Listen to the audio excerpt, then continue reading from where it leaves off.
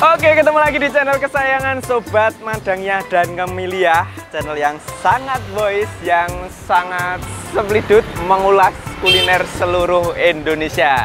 Sugeng Enjang Banjarnegara, kali ini aku mau sarapan di soto yang benar-benar khasnya Banjarnegara. Ini udah sampai di soto kerandegan Pak Aping. Namanya shopping Shopping itu kak belanja itu ya lur akan tetapi setelah kemarin kita riset, ini sotonya itu berbeda ya. Kalau secara looks dari luar itu, wih, ini benar-benar beda yang harus kita kunjungi. Nah, seperti apa soto ini? Nah, mari kita nanti ulas bersama dengan bapaknya juga yang jualan di sini. Nah, ini sudah sama Pak Aping langsung ya Pak? Iya, ya. Claudio dari Yogyakarta. Oke. Okay. Nah, banyak yang merekomendasikan Pak Niku kalau ke Banjarnegara harus nyobain soto kerandegan Pak Aping itu. Apa yang membedakan soto ini dengan soto yang lain, Pak? Ya. Kalau soto khas Banjarnegara itu kan kuahnya santan. Oh, kuahnya pakai santan. Ya, okay. tapi kan soto yang lain kan bening. Oh, bening. Kalau okay. ciri khasnya kan santan. Oh, pakai santan. Terus itu dagingnya sapi. Oh, dagingnya pakai daging sapi. sapi ya. Daging sapinya itu udah dimasak dulu berarti, Pak? Atau hmm. hanya direbus? Ya langsung dimasak gitu. Oh, dimasak bersama ya, dengan kuahnya. Bersama dengan kuah gitu. Wah. Kalau nggak sendiri-sendiri enggak. Oh. Kalau dari bau-baunya ini ya, ini hampir mirip kayak opor enggak? Beda, Pak? Enggak, enggak beda. Itu oh. bumbunya lain. Oh, bumbunya lain juga. Lain, ya, opor. Oh, bumbunya lain juga. Opor kan kental, dan opor kan enggak kuning. Yeah. Ini kan warnanya kuning. Oh, warnanya kuning. Oh, iya benar. Kalau opor itu lebih cenderung ke putih ya, Pak? Putih. Iya, oke. Okay. Minta tolong dibuatin aja, Pak. Oh, iya. oke. Okay. Nah ini langsung dibuatin sama Pak Aping. Wah. Ini ya, yang yeah. pertama kan kupat dulu. Kupat dulu. Wah. Pakai kupat tur. Kupat. Setelah kupat, Nah ya ini ya. oke. Okay. Alias cambah alias. Tapi kan ini togenya udah direbus. Oh, udah direbus ya Pak. Ya, oke. Okay.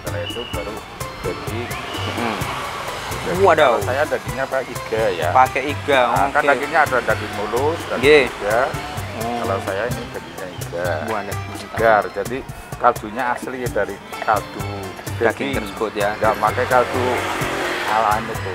Oh, nggih. Okay. Ini alami, enggak pakai kaldu instan loh. Nggih, langsung. Mantap nah, nih kan. Kelihatan empuk banget loh. Ini langsung daging, daging lagi baru kecap. Oh kecap. Kecapnya ya. Harus khusus ya pak kecap? Ya kecapnya ini Sukasari ya saya Banjarnegara? Bukan Semarang. Oh Semarang. Oh iya. Nah, setelah itu baru kuah kuah kuah mulak mulak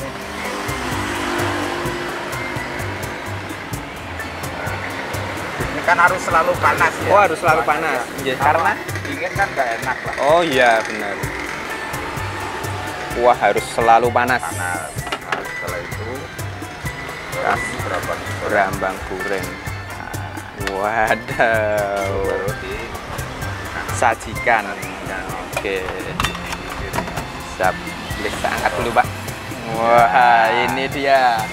Satu piring kesem dan soto Pak Aping kerandegan. Harganya pinter Pak? 15 ribu. Cuma 15 ribu. Sangat terjangkau. pakainya daging sapi loh. Ini buka dari jam berapa? Saya mulai jam 8. Jam 8 pagi? Jam 5 sore. Sampai jam 5 sore. Tiap hari buka? Buka tiap buka tiap hari. Mari kita coba lur. Hmm. Jadi bau dari santan yang berkuah itu sangat pekat sekali. Wah. Ini aku tadi sampai begitu sampai depan itu langsung udah gemeter lur. Waduh, ini akan kita coba yang original dulu. Nah, kuahnya dulu gurih ada rasa manisnya. Ini kurangnya cuma tinggal tak kasih sambal aja. Ini benar-benar sembeli dulu gurih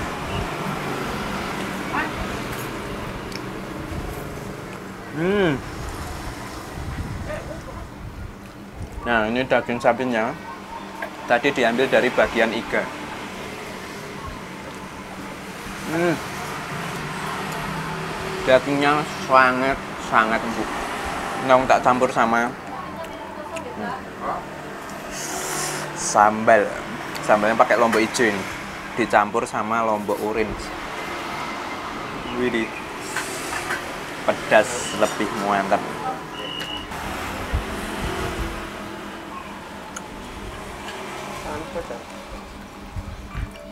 Wow. Sangat-sangat mantap nih. Jadi kuahnya itu dia pekat tapi nggak yang kental banget. Terus ini emang karena pemasakannya itu pasti sangat lama. Jadi ini benar-benar menyatu itu loh, rasa santan dengan dagingnya kaldunya. Hmm. Sama tempe dulu. Nah, tempenya di Iya.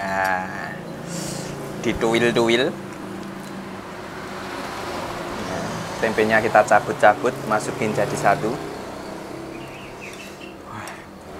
Jadi emang bener ya, ini menjadi khasnya Banjarnegara karena aku belum pernah menemukan soto dengan apa look seperti ini, dengan rasa seperti ini di kota lain. Biasanya kalau di daerah Jogja, Boyolali dan daerah sana ya itu biasanya pakainya kuah bening dan ini pakainya kuah santan. Rasanya wah. Pokoknya kalian harus coba. Sangat-sangat semridut, lezat, tos, kotos, kotos, well Oke, sudah sampai ke kulineran yang kedua kota Banjarnegara. Tak afdol ya, nek aku ini ke sini tidak menikmati dawet. Karena dawet ini sudah terkenal sampai ke mana-mana ya toh di kota kalian pasti ada dawet ayu Banjarnegara pasti ada toh. Nah ini langsung aku kunjungi akarnya. Ini paling lama di Banjarnegara. Ini autentik sekali. Ini ada di es dawet ayu asli Haji Munarjor Jasa Banjarnegara. Widih, seperti apa dapat yang asli itu? Langsung kita ke sini dulu. Wah. Bun, tempat sini tadi. Oh, okay. Ini generasi ke ketiga. Oke, okay. nah ini kita akan tanya-tanya. Aku sebelah sini kali ya. Oke. Wah, ini Dawet itu dalamnya ada apa aja, Pak? Es batu, Oh buah nangka, ya kuah santan gitu ya pak. Terus dikasih gula jawa. Oke gula jawanya ini. Wah, oh iya kelihatan orang Jawa tuh pak. Oke pak, boleh dibuatkan. Waduh, ini dari tahun berapa pak dulu?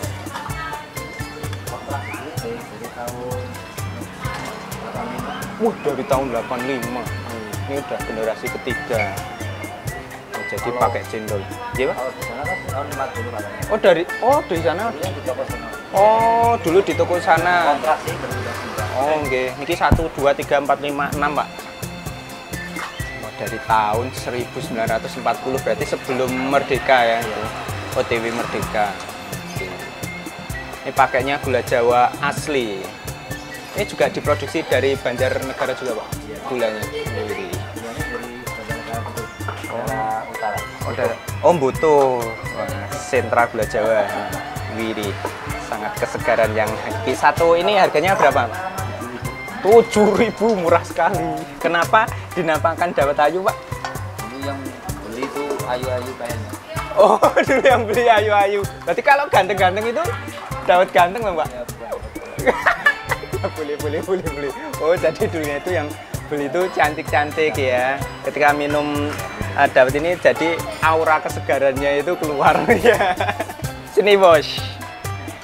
Eh, kene dong sini. Ayo Rene Rene. Ya, ini kita diantarkan sama Mas Opan dan Mas Haji. Mas Haji. So, nganu Mas Betlek. Ya, trans 7. Jadi trans 7 ya.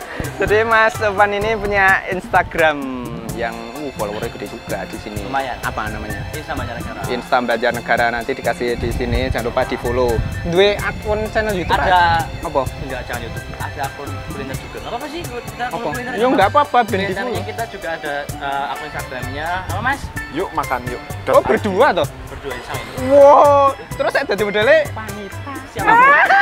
iki, iki, iki, oh ya oke. Nah ini Mas, akunmu apa Mas? Akunku Pesona Banjarnegara. Pesona Banjarnegara, Jangan lupa di follow juga sini. Jadi teman-teman ini buat akun kuliner juga. Oke, Mas Opan ngerum Mas, aduh aku langsung terus. Mas Ajis ya, nggak pakai gagap lah ya. Oke siap.